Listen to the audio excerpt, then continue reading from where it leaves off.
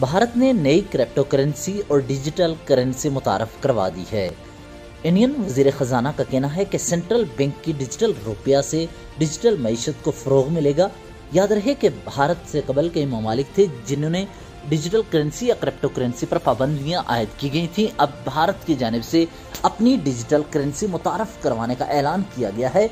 भारत अपनी digital currency central bank के तहत मुतारफ तो करवा रहा है, साथ ही दुनिया भर की डिजिटल करेंसीज के लेन देन पर 30 फ़ीसद टैक्स लगाया जा रहा है। ये टैक्स क्यों लगाया जा रहा है, तमाम तफसीत जानना अजहद ज़रूरी है।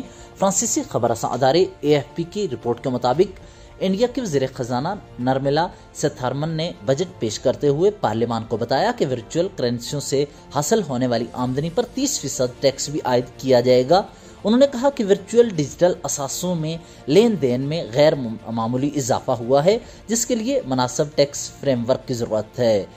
उनका कहना था कि मार्च 2023 के आखिर तक सेंट्रल बैंक ब्लॉकचेन टेक्नोलॉजी पर मबनी डिजिटल रुपया मुतारफ करवाएगा।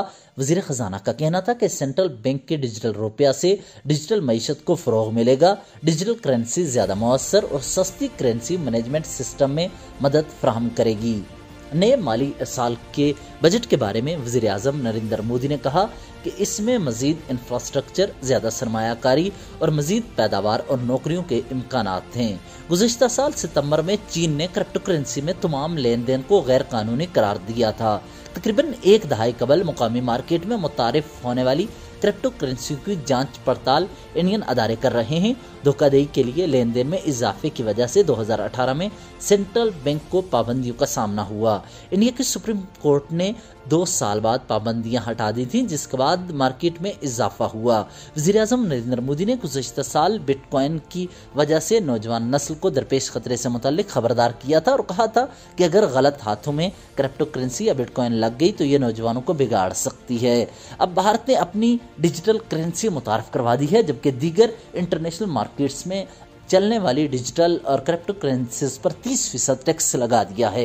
ऐसे मौका पर पाकिस्तान कहाँ खड़ा है? चीन ने पाबंदी तो लगा रखी है, लेकिन ये पाबंदी कब तक काम करेगी? दुनिया सख्त तरक्की करते हुए डिजिटल दौर में दाखिल हो रही है। इस दौरान खुद को पीछे रखना मुश्किल है। ऐसे फैसले लेने होंगे, जिससे हम दुनिया का मुकाबला भी कर सकें। आने वाले दिनों में अहम तरीन वीडियोस आपके लिए लाते रहेंगे। हमारे प्लेटफॉर्म से मुंसलिक रहिए।